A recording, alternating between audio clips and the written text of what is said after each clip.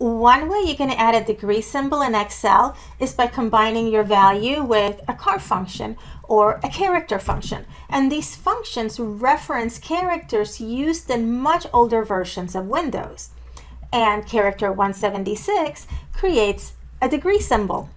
So in this example, we'd use the equal sign, reference our first value, use the ampersand to combine it, and then type C-H-A-R for character.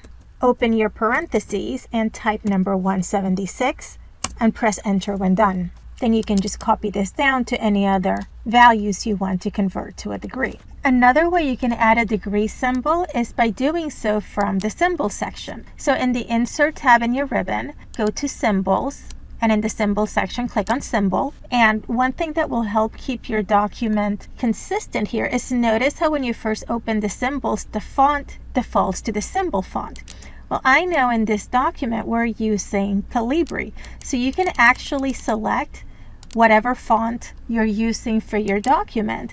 And within those options, find the degree symbol. And here's the one in Calibri, and then click Insert and close to add your degree symbol. Now one drawback to this method is that you have to do it one cell at a time, so it can be time consuming. But if you only need to insert one or two degree symbols, it's a pretty easy way to do it.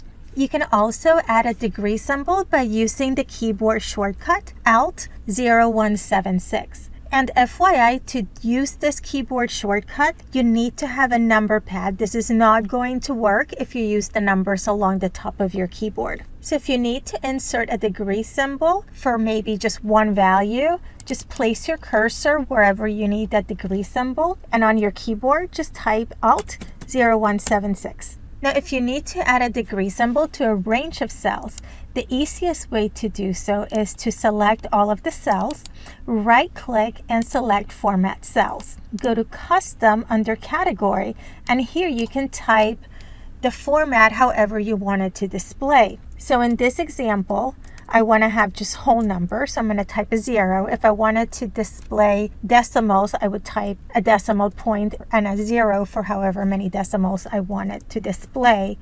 But we'll just keep it at whole numbers. So once you type the zero, press Alt 0176 from your keyboard to insert the degree symbol and press OK to format all of your values. For more tutorials like this, click on these links. Thanks.